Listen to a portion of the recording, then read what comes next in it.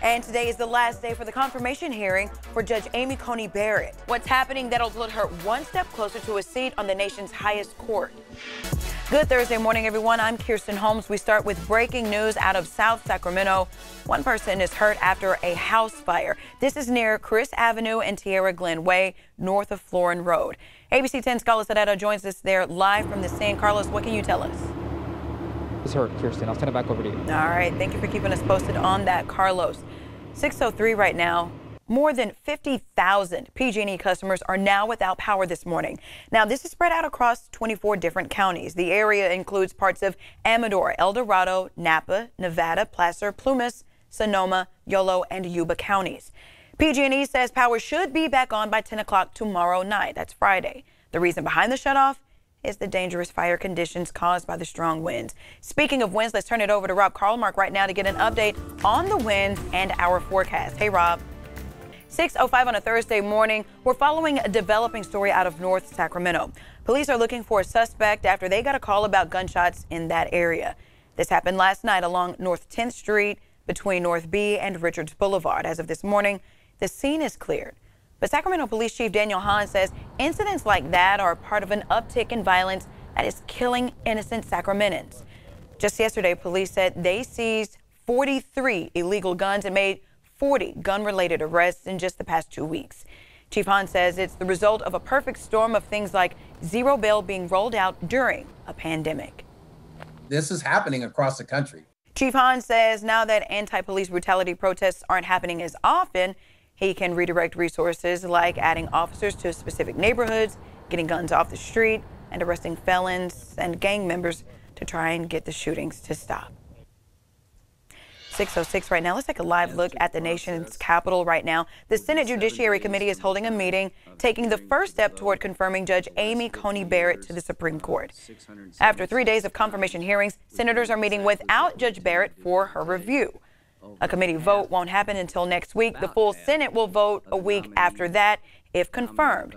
She would submit a 6 to 3 conservative majority on the Supreme Court.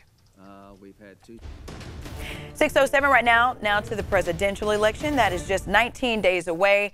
The California Republican Party says they will not remove the unofficial ballot boxes that they placed all across the state. That's despite an order from state election officials to have them gone by today. ABC 10's voter access team is investigating the story for you this morning, and Kevin John is live in Sacramento with what you need to know about this right now. Hey, Kevin.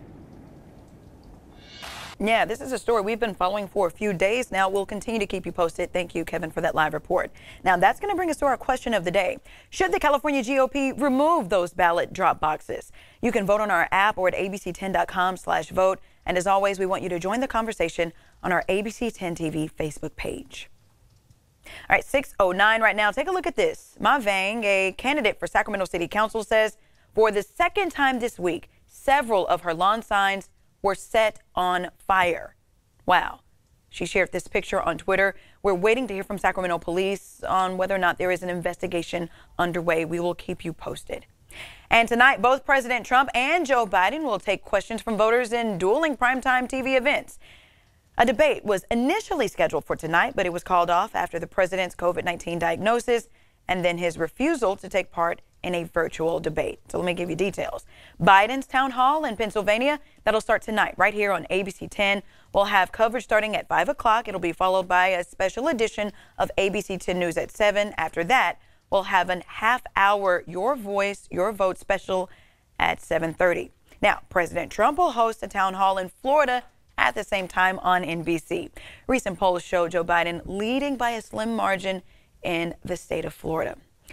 And early voting is now breaking records all across the country. According to U.S. Elections Project, more than 15 million ballots have already been cast all across the country. Here in California, more than 1.5 million ballots have already been sent back. And that is more than 10 times the number we had at this time in 2016.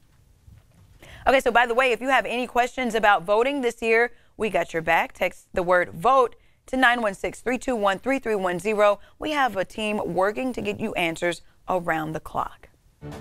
611 still to come for you on Morning Blend. The EDD is in the hot seat. What they're telling lawmakers about fraud and a massive backlog of unemployment claims.